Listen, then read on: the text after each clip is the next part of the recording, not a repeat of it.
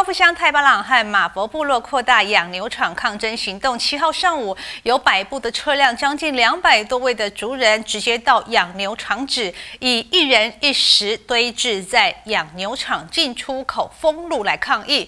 带头的那么好牧师，他痛斥县政府公权力不彰，高喊着“养牛场滚蛋，县长下台”，并且率领着三十多位部落青年冲撞养牛场大门，场面一度紧张。拒绝养牛场进驻部落，上百位部落族人一人拿着一颗石头堆置封闭养牛场的进出口，同时在总头目杨德胜的带领下，从腰际拔出了勇士刀，大声疾呼要求养牛场滚出部落。警方在一旁严阵以待。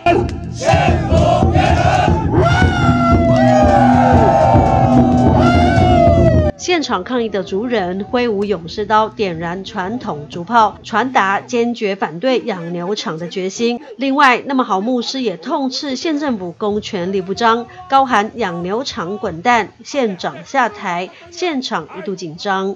不彰，县政府的公权力不彰，他竟然没有办法阻止养牛场。捍卫我们的家园，捍卫我们的主权，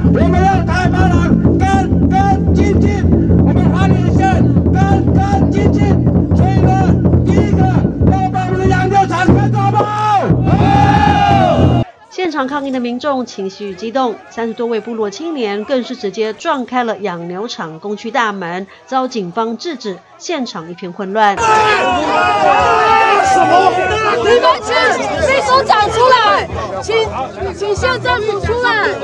畜牧业者廖先生合法向县政府申请获准，在泰巴朗与马佛部落间的这块农地新设养牛场。部落族人担忧养牛场产生空气、水污染，冲击部落生活、生产生态环境。几次向县政府理性陈情，提出部落禁止设置养牛场的诉求，却都得不到正面回应。因此，今天发动激烈抗争。部落这边有决议，要求一个礼拜以内。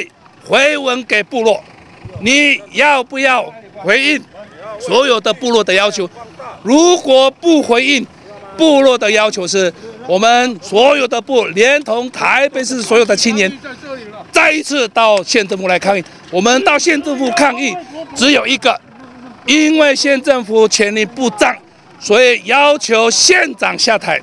部落七次的柔性澄清诉求，县政府以及树木业者不理不睬，令部落族人心寒发怒，并且要求县政府尽速在一周内做出决议，否则不排除发动更大规模的抗争行动，捍卫部落主权，守护部落环境。